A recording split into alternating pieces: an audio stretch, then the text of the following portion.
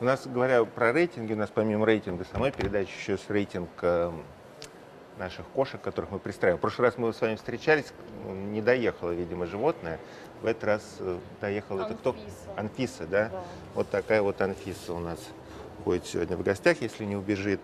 Вот. А если она убежит, ее шансы пристроиться будут э, значительно меньше найти хозяев или хозяев. У вас, у вас, кстати, есть домашние животные? У меня кошка есть, кот. Да? Да. И кошка, и, И кот? была кошка в начале 15 Так. лет, сейчас кот у нас. Ага, как такой зовут? же рыжий. Рыжик. И Была рыжка, теперь рыжик. Мгм. Это дарят или как Нет, это наши сами кошки. И они не совсем породные, просто мы Мгм. нашли, они друг другу понравились, и жена очень любит кошку. Здорово, здорово. Потому что в основном у нас как-то вот так получается, что в передачу приходят собачники. А, я сам собачник, а вот хорошо, когда чел- человек в предмете разбирается. Кстати, мы в прошлый раз, когда э, мы сейчас вернемся к, к предмету нашего разговора, а, Кстати, мы э, совершенно не успели э, поговорить про, мельком упомянули про вашу дочь. А а у нее есть кошка?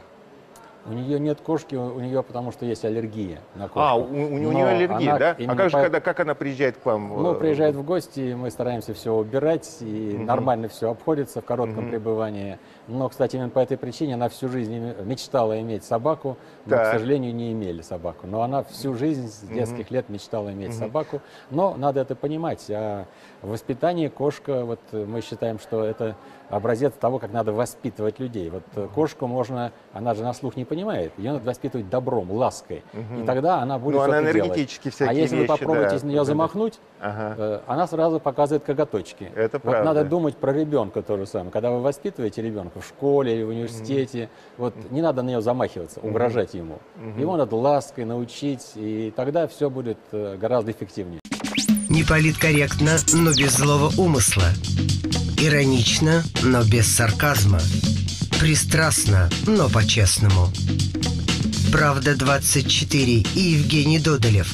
С понедельника по четверг в 19.30 на телеканале Москва 24.